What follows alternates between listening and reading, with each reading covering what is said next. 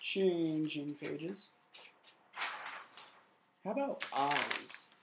I I watch or I subscribe to Mark Crilley on YouTube, and he's always doing videos on eyes or mouths or specific parts. Um, and his videos are pretty good. Um,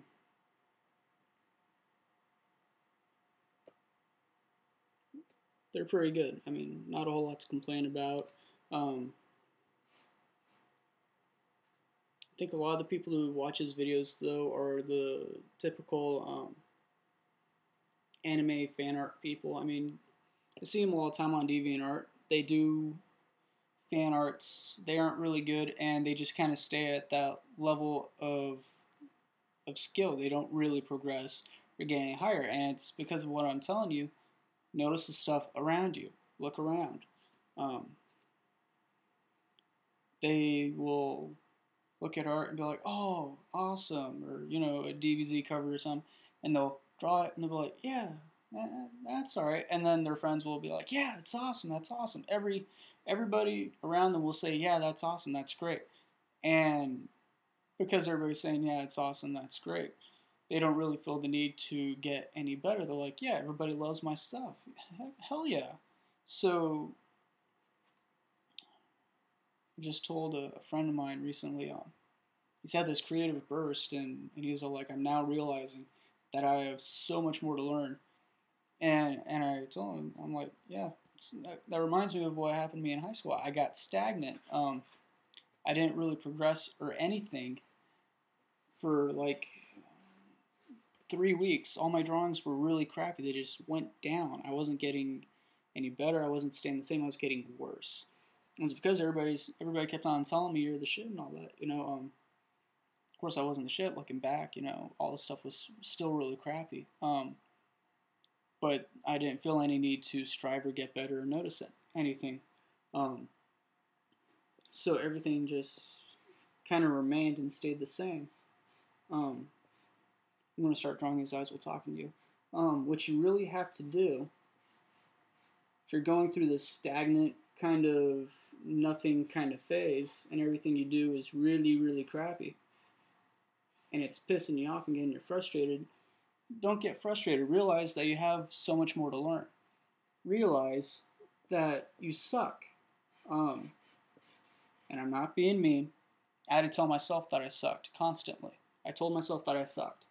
And I progressed so much in just a year. I, I really buckled down and I actually read the anatomy books instead of just looking at the fancy pictures and going, oh, oh, I actually looked at the muscles and everything and, and studied them, and then I created my own charts and I repeated the charts, and actually I only repeated it once, but I mean, and then in my sketchbook, I would just, instead of drawing Superman fighting somebody, I would draw Superman, but just minus the costume and all the muscles. Um, it's one of the best ways before you start getting uh, realistic in, in, your studies. Um, just uh, because not every muscle is flexing, draw draw all the muscles flexing and just outline the muscles. If you're going to draw somebody doing something, um, draw like Superman punching, but don't put on the costume. Don't do any of that, and draw the muscles. Focus on the muscles and and and just that, so you can get an idea of where all the muscles are and what they do. Um, I, I, shouldn't say what they do. That, that would be the next step to see how the muscles react when how, how they push and pull and stretch and bend and all that. It's the stuff that, that Jim Lee really um, really stresses, well, from what I hear. because um, he studied from one of the greats. Jeez, I can't can't remember the name now. Anyway, um, anyway, yeah, just focus on the muscle groups, where they are, proportions, the relation of one thing to another, you know. Um, and tell yourself that you suck all the time. I still tell myself that I suck sometimes. Um, and I get better. And I practice more and more. Not really more and more. Practice.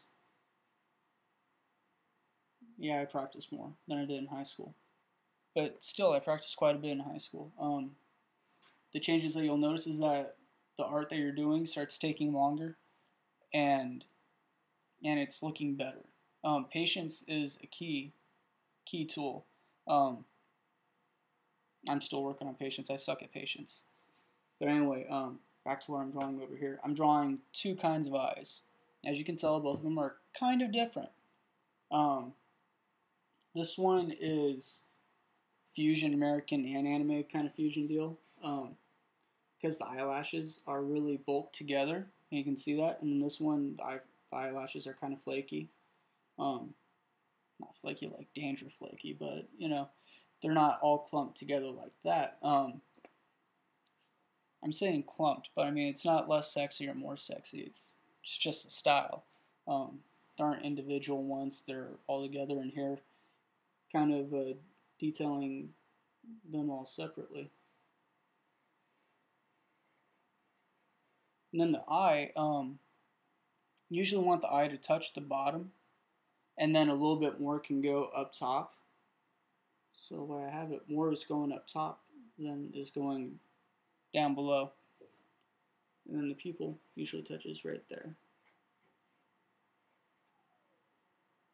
There we go.